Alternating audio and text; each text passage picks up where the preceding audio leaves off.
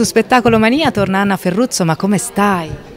Bene, molto bene, grazie. È sempre un onore per me partecipare a delle, delle fiction così importanti e la storia lo è, lo è davvero. La storia, diretta da Francesca Archibugi e tratta dal capolavoro letterario di Elsa Morante. Allora, tu sei la signora di segni e inizialmente diciamo incredula su tutto ciò che può accadere, che una, uno strano personaggio no, cerca di convincere tutta la popolazione del ghetto che qualcosa di orribile sta per accadere. E invece la signora di segni all'inizio non ci crede affatto, o fa finta di non credere. Forse non vuole crederci perché la signora di segni, come penso gran parte del ghetto, ha intuito che qualcosa di drammatico sta accadendo eh, in quell'inverno di guerra. E, e, quando poi la signora di segni si troverà eh, di fronte a questa dura realtà sarà per lei scioccante, drammatica, non voglio raccontare nulla, anche perché nel libro la signora di segni è raccontata in una sola scena, quella appunto che vede i suoi portati via in un carro merci.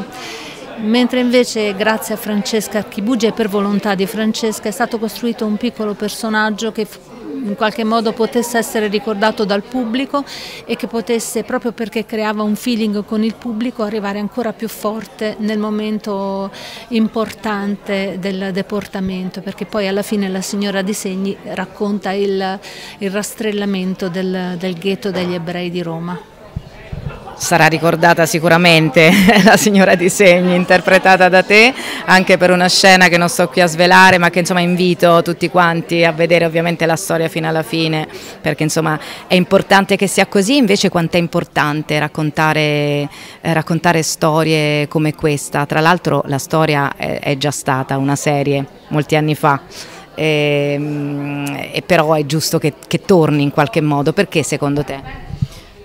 È giusto che torni per tanti motivi, prima di tutto perché forse da questa storia, dalla storia, gli uomini non imparano mai nulla.